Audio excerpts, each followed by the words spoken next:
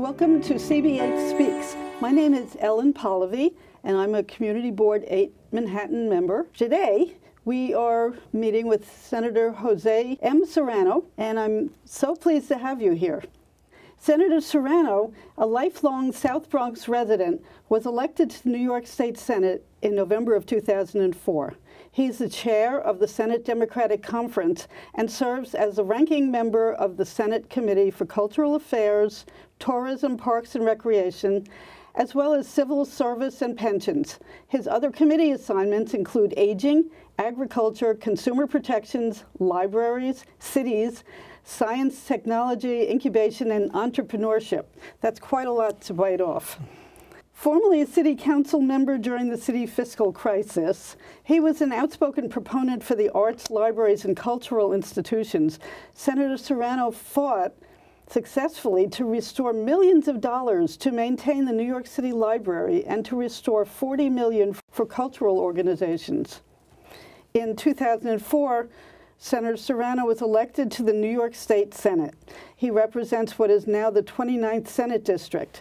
His district has perhaps the greatest socioeconomic and cultural diversity in the state, including neighborhoods in the South and West Bronx, East Harlem, Upper Yorkville, Roosevelt Island, Central Park, and the Upper West Side. Senator Serrano has introduced a wide variety of bills championing the arts, keeping housing affordable, protecting public health, fostering economic development, defending immigrant rights, closing the income inequality gap, and preserving the environment. We are lucky to have you, Senator Serrano, and thank you for being here. My pleasure. So with such a diverse area that to cover, that's amazing.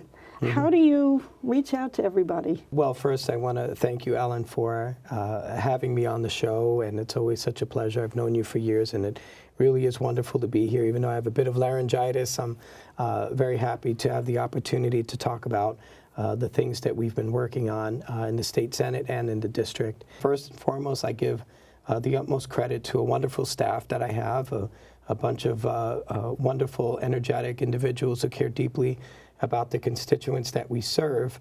And um, we engage our community by holding constituent hours in different various neighborhoods throughout our district every day. So, for instance, we'll be on Roosevelt Island on Wednesdays. We'll be in uh, Yorkville on Mondays. so, we're able to bring our constituency to local library, to our constituent services to local libraries, senior centers, uh, and uh, other sort of government uh, offices where the constituents don't have to travel all the way to our district office, which is in East Harlem. Instead, they can uh, engage our our constituent staff uh, in, on a much local, much more local basis. I want to point out to everybody that one of the the great productions from Senator Serrano's staff is a newsletter that's being sent out to everybody. And i would like to tell people how to receive this. If you'd mm like to find out what's going on in Albany, mm this will tell you. And we put together a monthly report. Then we, we tend to focus on different areas of, of critical importance. We'll take a month where we'll focus on senior services. We'll do another month focusing on uh, housing and affordable housing, know your rights. Uh, we'll take another month to focus on women's issues and legal services and uh, health care and such.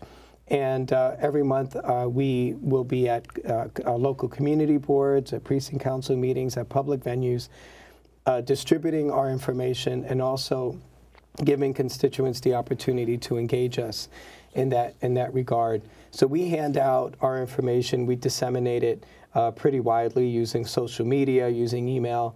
Uh, but again, if there's uh, any constituent who would like to learn more about the things that we're working on, they could feel free to call my office, and we will be more than happy to email this report to anyone. Now, there's been a lot of a lot of question about what's going to happen to immigrants these days. Well, Ellen, it really is such a shame hearing the uh, amount of uh, negative rhetoric coming out of Washington under this new administration. There is a tremendous amount of trepidation within the immigrant community, uh, and, and quite frankly, uh, even folks who aren't in the immigrant community are very concerned about this erosion of uh, the American ideal, being that we are a nation of immigrants, of uh, uh, a nation who has, for generations and for, for hundreds of years, welcomed uh, those fleeing the type of oppression uh, in their home country that we sought to change. And unfortunately, under this new president, uh, we're hearing a lot of negativity and, uh, and sort of very negative warnings to the immigrant community that their situation is in peril. What I've done in the state senate is I've introduced legislation called the Liberty Act. The Liberty Act will uh, ensure that we as a state are a sanctuary state. Uh, beyond just New York City being a sanctuary city, the entire state being a place where law enforcement is not allowed to inquire about a person's immigration status, unless, of course, the individual is, is, is engaged in a violent felony. Uh, it will ensure that uh, folks are not stopped by law enforcement just solely on suspicion of immigration status. And by doing so, I believe we create safer communities because we ensure that immigrants are not in the shadows, that they come forward, that they report crime when they've been the victim of crime. Oftentimes, I hear uh, very tragic stories of immigrants who uh, themselves are victims of domestic violence or workplace abuse, and they won't come forward to authorities for fear of having to answer tough questions about their immigration status. Uh, and oftentimes, crimes will go unreported.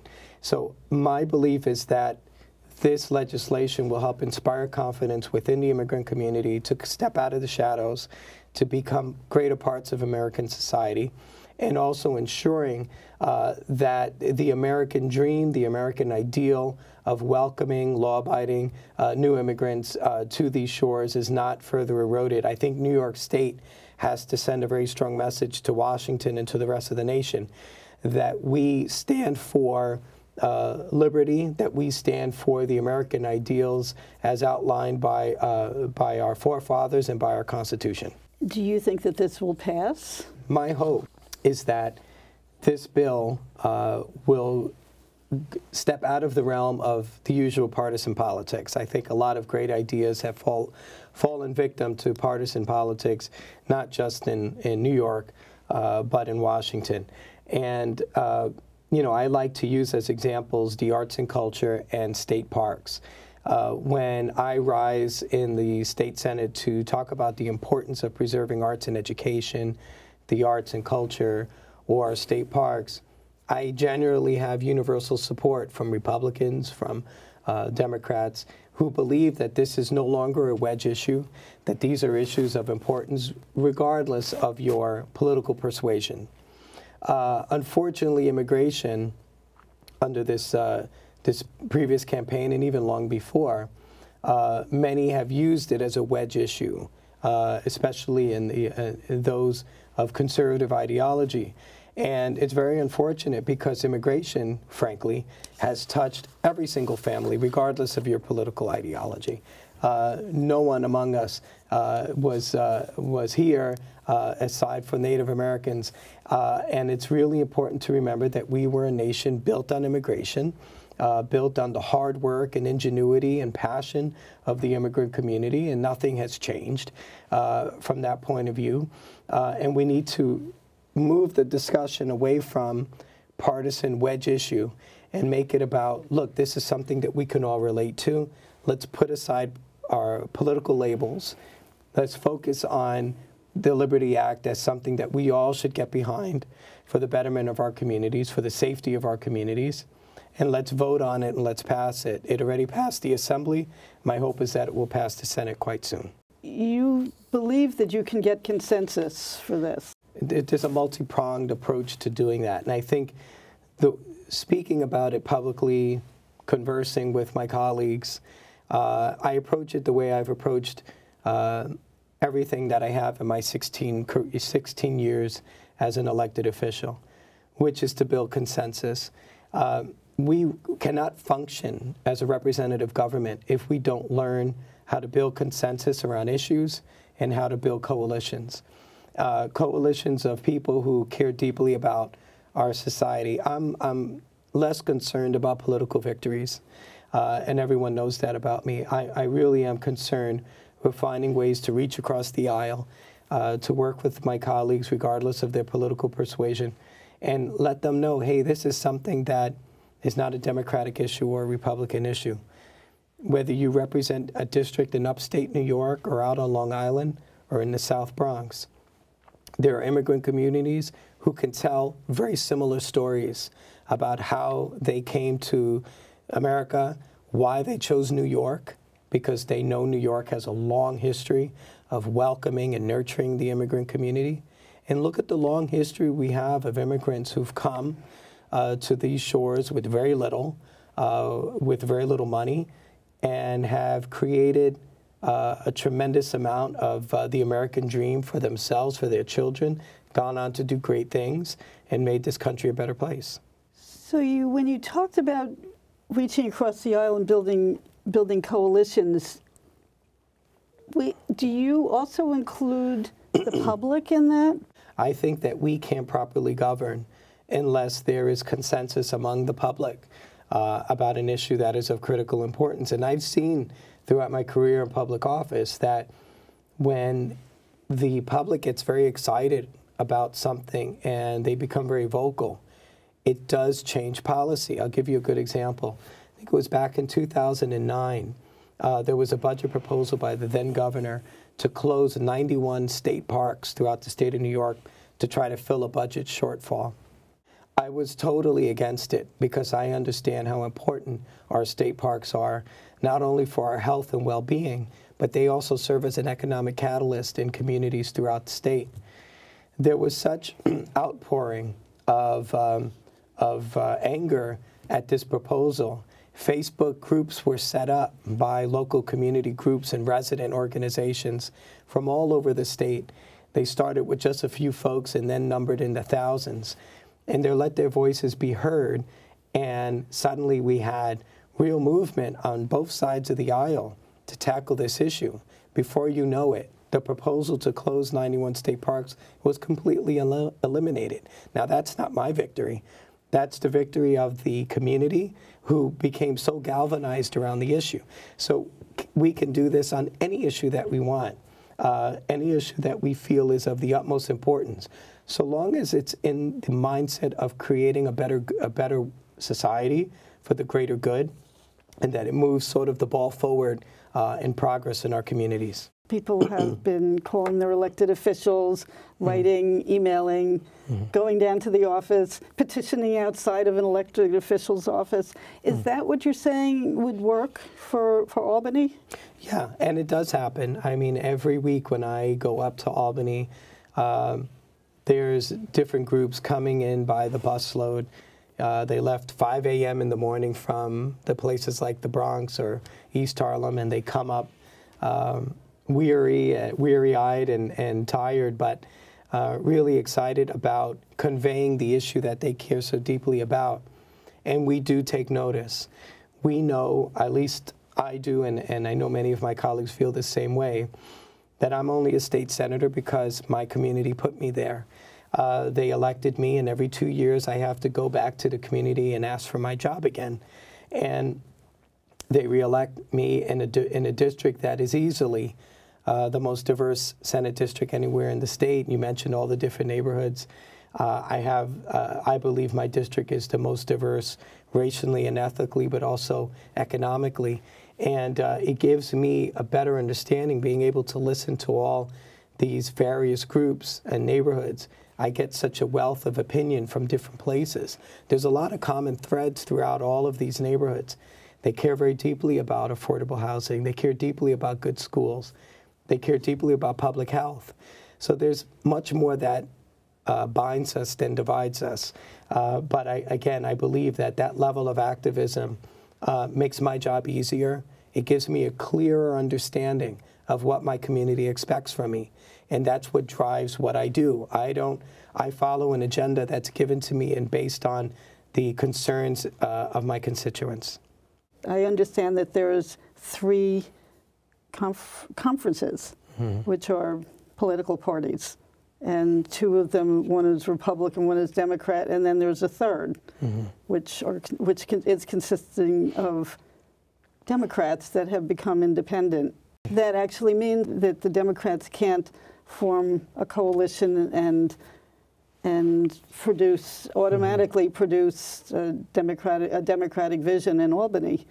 Is there something that the voting public could do to encourage those Democrats? It's an interesting question, and and unfortunately, there's no easy answers. Uh, you know, I would love to see um, all Democrats united uh, in the in the state senate, but as I mentioned before, uh, my style has been more to focus on the issues uh, and less on the political differences that uh, people are facing. And I think that is what the public want to hear more about. Um, they want to hear less about what divides us and more about what we can do to work together on a specific issue. I think with the new administration in Washington, there is a heightened sense of urgency to get things done quickly. Um, only four weeks into the new administration, and there's already a tremendous amount of fear and anxiety that I see in the faces and I hear in the voices of my constituents. Uh, immigrant communities wondering if they'll be able to be here tomorrow. Uh, women's uh, concerns about their health decisions and reproductive rights. Um, ensuring that we have real uh, uh, investment in public education. These are the issues that the public, I think, is much more concerned about. Um, if we drive those issues forward, uh, I believe that we will be able to build the level of consensus within our our, uh, our legislative body to pass those bills, and and those I those issues I believe ultimately will unite us. With the appointment of uh, Betsy DeVos as Education Secretary, now there's a concern that money will come away from public schools and be put into private for-profit schools. How will that affect New York State? I'm deeply troubled by uh, Betsy DeVos. Uh, her new uh, appointment, I think, sends a very uh, strong chilling effect on those of us who care deeply about public education you know, the bottom line is is that over 90% of the students um, attend uh, public schools, uh, not just in my community, but throughout the city of New York. And there's long been struggles within our public schools, but I still think they provide the best hope uh, for betterment within our community, for eventual economic prosperity within our community. And we need to find new and innovative ways to educate our children and to ensure that teachers are able to uh, work with parents uh, in making sure that our students receive the best education. I believe a very strong commitment should be made by elected officials from the federal level through the state level in ensuring that public education uh, is given the utmost priority. Uh, this should not be, again, this should not be a wedge issue. I find it um, really so unfortunate when uh, children find themselves in the middle of a political wedge discussion about education. It's ridiculous. We need to get past that. We need to ensure that we're focusing on the needs of our children, especially those who are most vulnerable, those who uh, have the least economic advantages, uh, who can't afford the expensive tutors, uh, making sure that they get the quality education um, uh, that will allow them to move forward as, as a, and become the next wave of elected officials and help shape policy in our community. What will happen to the money that comes in from the federal government? It's really hard to say. We've been seeing an unfortunate, a fortunate amount of turmoil out of Washington now, and it's very hard to understand or know um, what the concrete policies will be. That has created layer upon layer of anxiety, whether it be on the national level, state government, and local governments because so much of what we do depends on federal funding. Um, so I hear artists tell me all the time federal funding for the arts may disappear. It's hard to know if that will happen or not. Uh, on, the, on an education level, it's very hard to know what policies will be put in place that will affect funding on a local level. All I can say is that from our point of view as state elected officials, we must, I believe, double down on our commitment to public education to ensure that we have robust schools within our communities, that we have new school construction, that we have state of the art facilities, and that we have real engagement with parents and families to ensure that they are strong partners in the education programs. Um, so, you know, as a parent with two small children, I, I understand how important the parental role is, but nothing can substitute the fact that we also need uh, uh, strong federal commitment and federal dollars to our public education system. What happens to the healthcare system in New York? Another le level of trepidation uh, is in that because we are unsure of what the unknowns are. Uh, our new president uh, said that on day one he would repeal and replace uh, Obamacare, otherwise known as the Affordable Care Act. Um, as of today, we have not seen what the replacement will be. So there are many town hall meetings happening throughout the country where people who have um, come to rely on the Affordable Care Act for health coverage are wondering what's next. If you're saying you're going to take it away, what will be there for us? So, unfortunately, Ellen, I don't know the answer. Um, I think that there is a lot of worry amongst people, uh, families, uh, individuals who have uh, who have used the Affordable Care Act. Um, and I find it very unfortunate that instead of finding ways to improve it and make it more affordable and more accessible, this rhetoric to repeal it simply because it was a product of President Obama and talk about re replacing it with some unknown, uh, I think has done nothing more than create a chilling effect on uh, the healthcare system. And it makes it very hard for people who are dealing with pre existing conditions our unfortunate people as they grow older have other health issues that we should stand behind and make sure that people are treated well so that they can have better medical outcomes. I think we need to see strong direction from the federal government. In the meantime, I think the state should do all that it can to make sure that local uh, health care, uh, local clinics, local hospitals are really providing a safety net for those, uh, the poor, for those who could least afford uh, health care if we don't have this, the federal money that goes to Medicaid, what will happen to our Medicaid system in New York? Is something going to have to change? Uh, that's another example of something that has become a partisan issue when initially it wasn't. When Medicaid was initially uh, put forward, it was supported by Democrats and Republicans alike who understood that poverty knows no race, knows no political persuasion, and that Medicaid provided a safety net that in the long term actually saved money by making sure that our most vulnerable remained healthy and did not have to go to emergency rooms for primary health care and things of that nature. Unfortunately, over the years, we've seen many use Medicaid and Medicare in some instances as a us against them issue, calling them entitlement programs, when in actually they are part of the public good that we all pay into and that we all care deeply about because it provides a safety net that if, uh, if any of us uh, needed, uh, it would be there for them. Um, my hope is that those who are in opposition to the enhancements in Medicaid that have provided so much benefit to our community understand that their communities, maybe they should tour their districts or their part of the country and see that that level of poverty that they think is only contained in the inner cities is actually even more profound in rural America. Uh, rural America is suffering. Uh, they're very much in need of health care. They're very much in need of strong schools. And all of these programs that they believe are only benefiting the inner cities, really, they should take a long, hard look at their own backyards because it is protecting their constituents, and they should not turn their back on these programs. I'd like to find out about affordable housing. do, you, I, do you have any affordable, uh, any creative approaches? Over the last 10, 15 years, we've lost so much Mitchell-Lama housing. Mitchell-Lama being, I think, a very solid idea many years ago to create uh, affordable housing for working families. And there was a sunset in the provision, and we had a certain amount of time uh, in order to come up with a Mitchell-Lama 2.0. And unfortunately, no one did come up with this program with a, a, a sort of a reboot. And we saw a lot of Mitchell-Lama phasing out. Uh, and there was no um, there was no replacement for it. And, um, you know, some buildings remained affordable, but some didn't.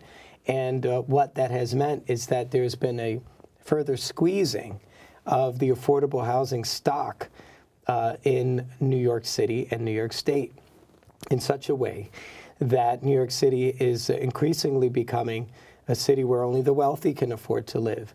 Meanwhile, our seniors and our uh, working families who are trying to get by are finding it harder to stay in New York City.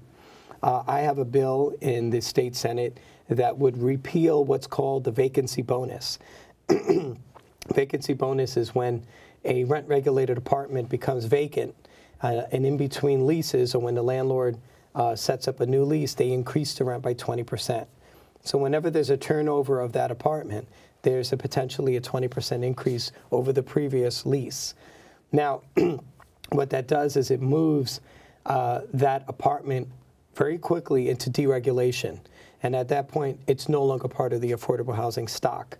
Uh, and you're seeing that happen week after week, year after year in our communities where we're losing what little affordable housing we have. Uh, my hope is that this legislation will pass, that my bill to repeal the vacancy bonus will pass, uh, and that it will gain the universal support that's needed because, again, it affects Democrat and Republican districts alike. Thank you. I wanted to point out that you're doing some great work on public health with mm -hmm. uh, asthma. Mm -hmm. In one sentence, uh, could you tell us what is mm. going on with that?